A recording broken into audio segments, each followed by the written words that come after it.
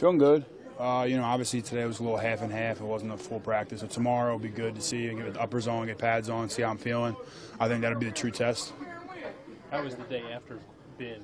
It's been good. It's been really good. My knee's feeling great. So, you know, I have all intentions of going out there and playing on Sunday. We just got to make sure, you know, we're taking the right steps and not, like I keep saying, I'm sounding like a broken record, making sure we don't have any setbacks. But every day I've been feeling good, so it's solid. You know we love percentages. Do you have a percentage? You think? Do I have a percentage? Uh, no, I don't have a percentage for you. How about a, how about a gut feeling? A gut feeling? You have a gut? I have a gut, but um, I really I don't want to tell you until tomorrow. Tomorrow I'll probably have a better idea for you. Just I mean, based on, on how we go with uppers and that's, you know the closest I've been to game action since getting hurt. So uh, we'll, we'll see. If you do come back, this is quite a stage to come back on. Yeah, why not? You know what I mean? They're they're what are they 11 and one. No one losses against us. We play when we know how to play them.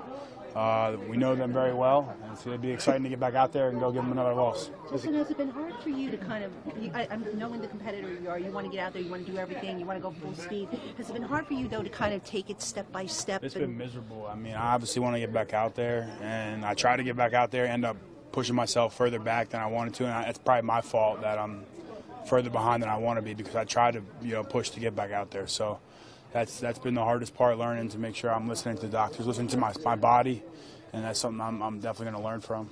Does it get any bigger than this? Nationally televised game at home, your fans, arch rival. doesn't get any bigger than this. This is what you play for. These games in December, the meaningful games. You know, if we want to be a playoff team, we got to be playoff teams, and they're the best team in the, in the NFL right now. So we got to go out and beat them. You guys have mentioned that you know they have one loss, and do you think people have kind of forgotten that you guys you know, beat them way back when? I know no one around here forgets that we beat them, but I, I bet you a lot of teams in the NFL don't even remember who that one loss was. So uh, maybe we can go out there and remind them again.